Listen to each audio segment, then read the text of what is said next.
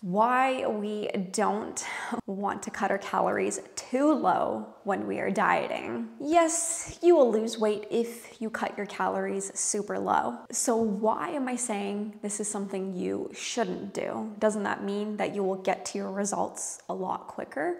Not necessarily. The calories you consume give your body the energy that it needs to function properly. And these bodily functions burn calories, meaning you are burning calories all day long, not just when you are exercising. We burn calories from eating, talking, sleeping. All of these things take calories. This is the breakdown of your total daily energy expenditure. Can we see that okay?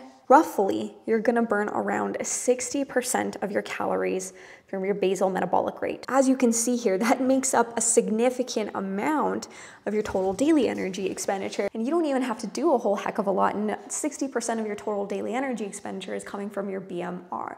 Those are your bodily functions that you're not even realizing that you're doing on a day to day basis.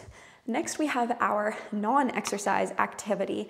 This is the amount of calories that you are burning throughout the day without even realizing it, non-intentional movement. So me right now, I'm talking to you guys, I'm moving my hands, I'm burning calories while I'm doing all of this, roughly around 15%. Next, we have our thermic effect of food, which is 10%. The thermic effect of food is basically the amount of calories that you are burning during digestion. So when you're eating protein, carbs, and fats, when you're eating food, your body has to work in order to break that food down. So during the digestion process, you are burning calories from that bodily function.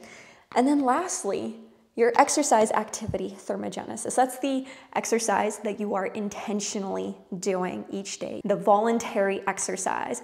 Only roughly 5% from your total daily energy expenditure. So your body is burning calories all day long. So when your calories get cut too low, your body is running on less calories than it is used to, which causes us to feel lethargic, irritable, and hungry. I'm sure we have experienced a symptom like this once or twice in our life where you may be thinking, ah, you know what? I can handle it. I am up for the challenge in order for me to lose weight a little bit quicker.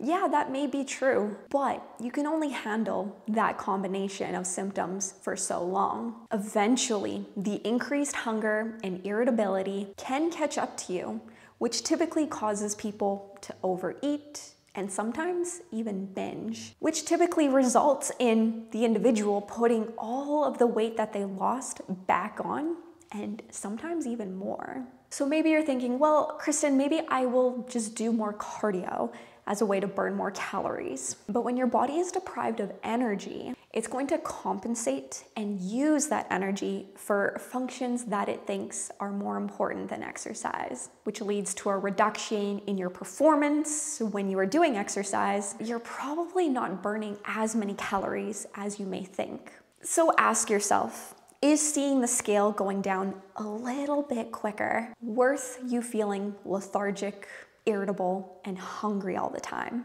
Dieting is hard enough as is, so don't make it harder than it needs to be. The goal should be to be dieting on as many calories as possible.